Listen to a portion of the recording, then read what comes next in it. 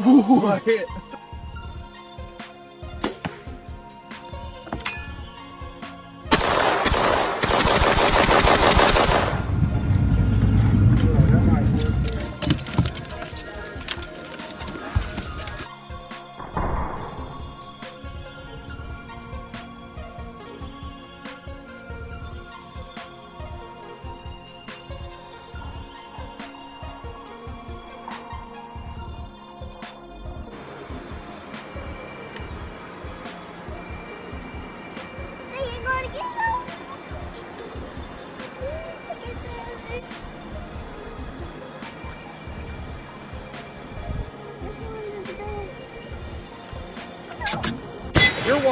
Palmetto Outdoor Experience YouTube channel.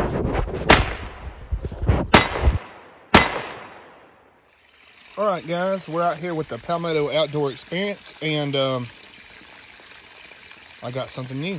Well, it's not new, it's used. But this is going to make things a whole lot different. Looky here. Deep Cycle Marine Battery. This little one here uh, I don't think it's really designed to be constantly charged and I could never get 12 volts in it. Look at there.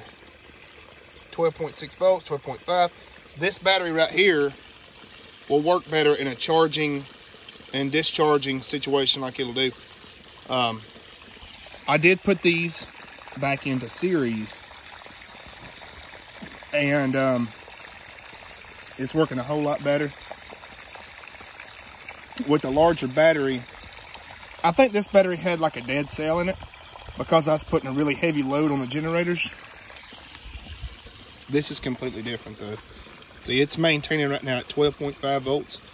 That's good. Our output voltage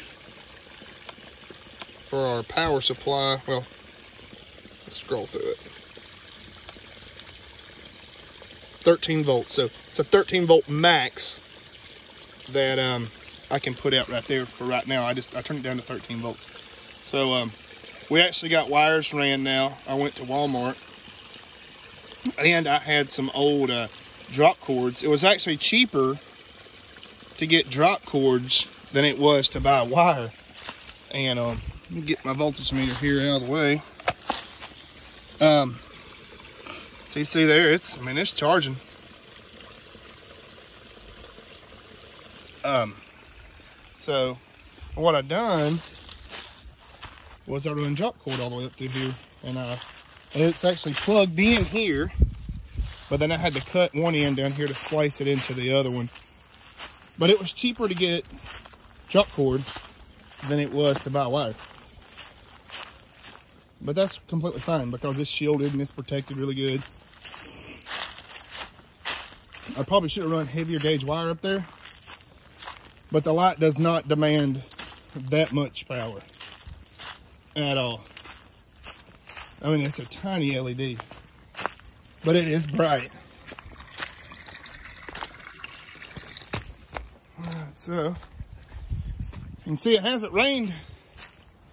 It hasn't rained much in the last two weeks, so our water's kind of starting to slow down on the spillway. The generation pipe now it actually pulls a lot of the water off the pond, which is fine with me. I need to, I'm gonna have to put some dirt up right here once we get a drought and fix a couple spots in my concrete right there where I poured it thin. I figure if I build me a wooden or a uh, dirt dam across there, it should give me about, mm, I'd say maybe 10 to 12 hours. And I'll open up the generator bypass where it'll, you know, it'll just be the flow out to there. But we've got the light now on the pond. I want to get in here and mount it on one of these trees. I just need a little bit longer wire though. But let's cover this photo cell up. See what we got. Okay. It takes a couple of seconds before it'll kick on. Hopefully it will. Hopefully it didn't trip nothing out or nothing come unplugged.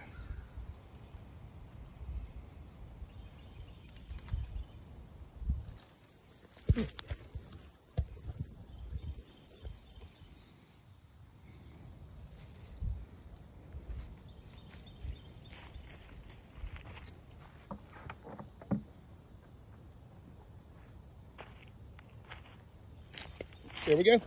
The uh, that photo cell is so sensitive. Um, there was just a little bit of light coming in, and it was just enough to uh, make it not come on. But that'll look really good, and I can change the colors with this thing. I got a remote for it. You can see the grass is starting to come up on this thing. Man, look at there. That's some good fescue right there. I kind of wish I didn't have fish in this thing because I would plant the whole face of this dam all the way down to the bottom and let it grow up with grass. But uh, I thought also I found something neat. So one of my smoke generators, I took it apart and there's some of the winding that's in it. So your magnet spins around this and that's what gives you your electricity. It, I mean, I can't. I mean, I could explain it, but it just it'd take forever to explain it. So right here, there's magnets inside of this, right? And um, what this does is this spins the magnet spins around this. Uh, I believe it's called a rotor. I might be saying it wrong. But that's that's how you generate electricity. The wire, there was three wires on it, so it is a three-phase motor. Then it's rectified to uh, 12 volt. Ah, it, it wants to hold it. But, yeah. i just been uh, piddling today on this project. Oh, about fell. There's a lot of fish in here now.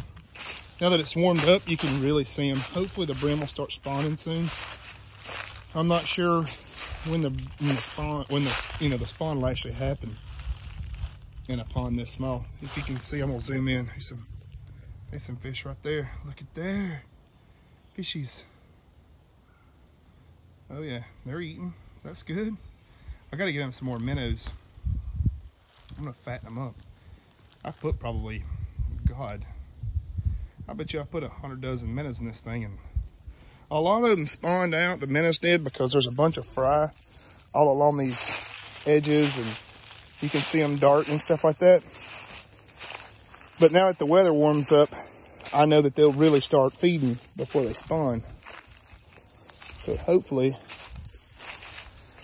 hopefully in a day or two, I can get them some more minnows. I've just been lazy and most of the most of all the gas stations are sold out because people are crappie fishing right now. There's a there's a big bass right there. Or a decent sized bass. He ain't big. Let's see if I can ease up on them. They're skittish. They know who caught them. there's a bunch more brim in there. I don't know if you can see them. A lot of fish hang out right up here at the top. Oh, there's a big brim. He's slab. You fillet him.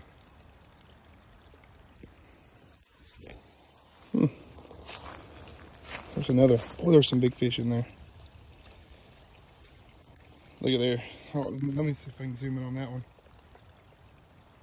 Look at there. Look at that beauty. There's another one. Man, there's a lot more fish in here than than I thought there were. I mean, I know that there's a lot of fish in here. So there's a there's a bass right there. I think it is. It might be a crappie. The back dorsal fin looks like a crappie. There's a big bass. There he is. So the, the warmer the weather gets, the fish get a lot more active. They start feeding because they're ready to spawn, or they get ready to spawn. And I believe I've got them enough room to, to do what they need to do. The only thing, I really want to get some catfish in here. I've only got two right now. And I'd rather have flatheads. I've just got to catch them. And that's, I haven't been able to. I've gone to a few places, and for some reason, I haven't been able to catch any flatheads. There's more fish. I don't know if I can zoom in on them.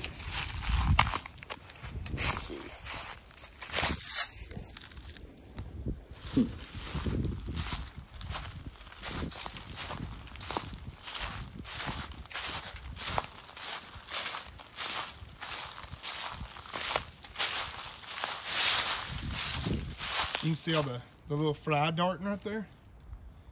I mean, there's hundreds of baby fish, and I'm guessing that they're minnows.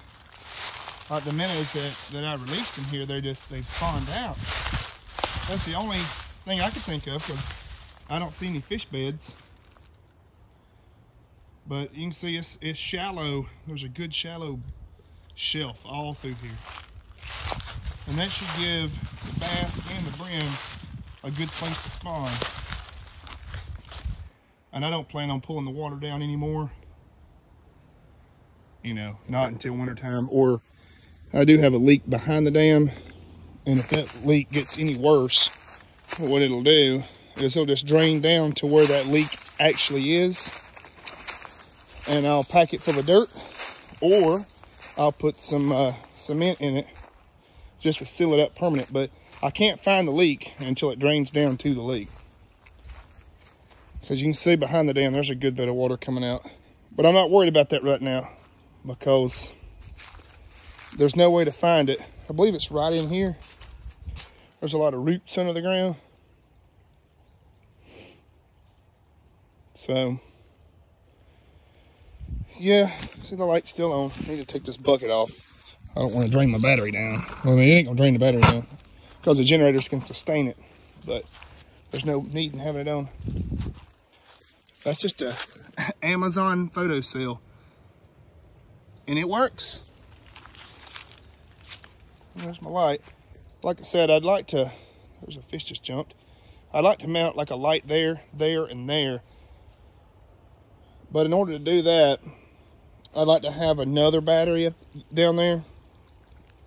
And uh, actually have two batteries charging and then run the power directly off of one of the batteries with heavier gauge wire up here and maybe put those on a timer where they would only come on from like you know nine o'clock at night till three in the morning or something. And the goal is is the lights will attract the bugs. The bugs will land on the pond. The fish will eat the bugs.